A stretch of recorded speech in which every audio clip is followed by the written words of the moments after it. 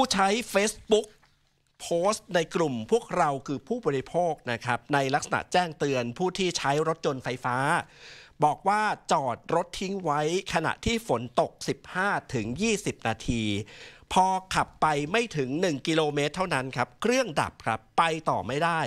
เขาก็เลยเรียกประกันครับ แบตเตอรี่มันพังครับ โชว์รูมก็เสนอค่าซ่อมกว่า 1 ล้าน1แสนบาท 1ล้าน1แสนบาทเลยนะครับค่ะสำหรับแบตเตอรี่พังนะครับ แต่ว่าประกันเขาบอกว่าเขาจะจ่ายให้เพียงแค่8ถึง9แสนบาทเท่านั้นรถเนี่ยอยู่ที่ศูนย์บริการ เพราะว่าประกันภัยยังไม่อนุมัติตอนนั้นนะครับก็นานเกือบ 30 วันแล้วนะครับ ก็ยังไม่มีบริการรถสำรองให้ด้วย แล้วก็ไม่ได้มีการเยียวยาให้ด้วย เขาก็เลยโพสต์ในโซเชียลทีนี้พอหลังจากที่เป็นกระแสในโซเชียลแล้วเนี่ยทางบริษัทประกันโทรมาเลยครับ แจ้งเจ้าของบอกว่าอะ เดี๋ยวรับเคมให้แล้วนะ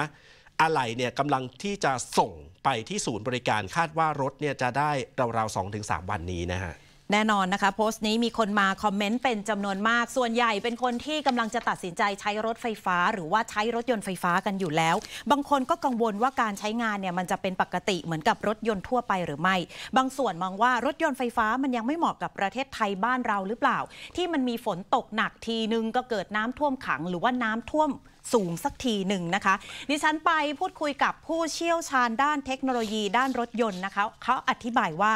รถไฟฟ้าถูกออกแบบมาใช้งานได้ใกล้เคียงกับรถสันดาปเลยค่ะ อาจมีข้อจำกัดเรื่องของแบตเตอรี่ที่อยู่ต่ำในระดับพื้นรถซึ่งเรื่องนี้เนี่ยถือว่าเป็นข้อกังวลของผู้ผลิตแล้วก็ผู้ใช้งานอยู่แล้วนะคะ เลยมีการกำหนดค่ามาตรฐาน IP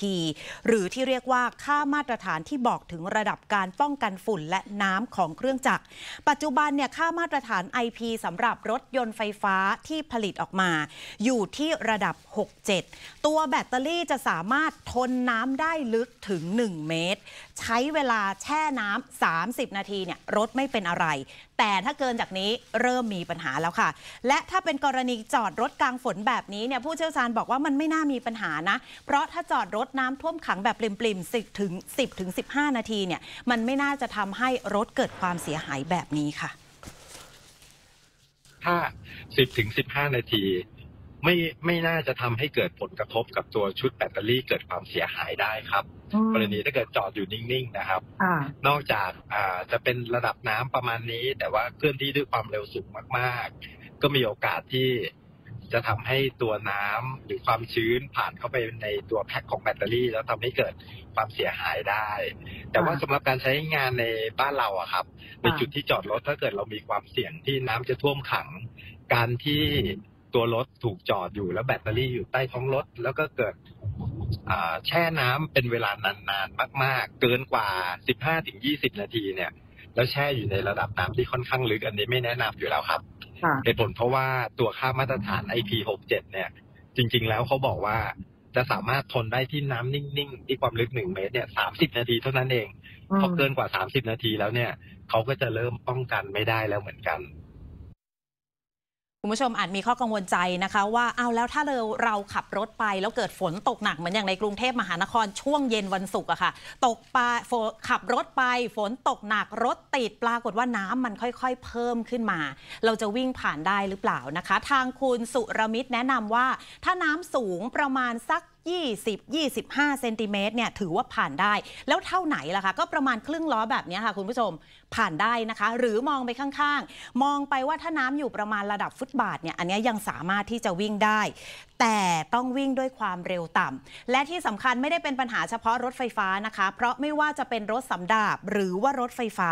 ก็สามารถขับรถผ่านน้ำท่วมได้ในระดับใกล้เคียงกันค่ะ และที่สำคัญรถไฟฟ้าอาจมีความเสี่ยงน้อยกว่าซะอีกนะคะ เพราะว่าถูกออกแบบมา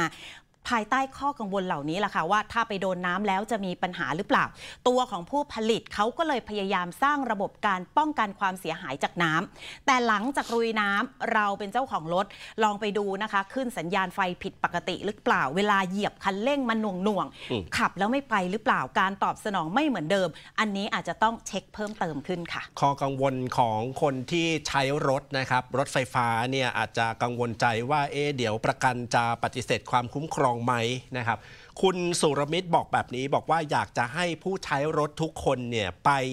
หยิบสัญญาประกันของแต่ละคนเนี่ยเอามาอ่านนะครับ เพราะว่ารายละเอียดในประกันบางฉบับนะครับ อย่างเช่น ประกันที่เขาแถมฟรีมากับรถเนี่ยก็อาจจะไม่ครอบคลุมความเสียหายจากภัยธรรมชาติ อาจจะไม่ครอบคลุมเหตุจราจรหรือการใช้งานที่ผิดเงื่อนไขที่ ผู้ผลิตเขากำหนดเอาไว้นะครับ ไม่ว่าจะเป็นรถยนต์ไฟฟ้าก็ตาม หรือ